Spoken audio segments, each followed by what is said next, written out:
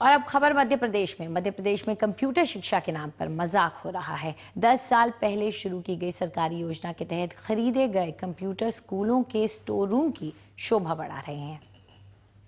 Madhya Pradesh computer शिक्षा के पीछे की हकीकत देखनी है तो यहाँ आ जाइए।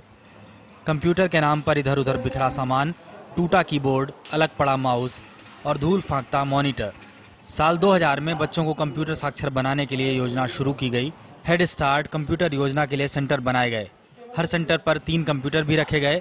कंप्यूटर तो आया लेकिन बच्चे कंप्यूटर का कहरा नहीं सीख पाए। कंप्यूटर चलाना जानती हो? नहीं जानती।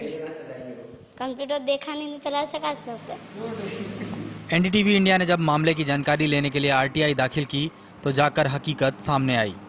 एक लाख रुपए की लागत आई एक कंप्यूटर खरीदने पर।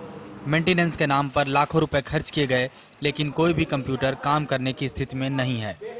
आरटीआई से मिली जानकारी के मुताबिक कंप्यूटर कई सालों से बंद हैं। यही नहीं कई केंद्र से तो कंप्यूटर नदारद भी हैं या चोरी चले गए हैं। सूबे में कई घंटे बिजली कटौती है लिहाजा स्कूल के समय बिजली न रहने से भी बच्चे कंप्यूटर क्लास में चाह कर नहीं जा पाते। पूरा दिन लाइट नहीं रहती है। तो क्या टीवी चलेगा? बच्चों के स्वस्थ मनोरंजन के लिए कलर टीवी भी स्कूल में दिए गए लेकिन जो सामान जैसा आया वैसा अलमारी में बंद कर दिया गया। यहाँ तक सीडी भी हमने जाकर बाहर निकलवाई। शाजापुर में दिखी हकीकत तो एक बानगी भर है। पूरे प्रदेश में सरकारी योजनाओं का यही हाल है।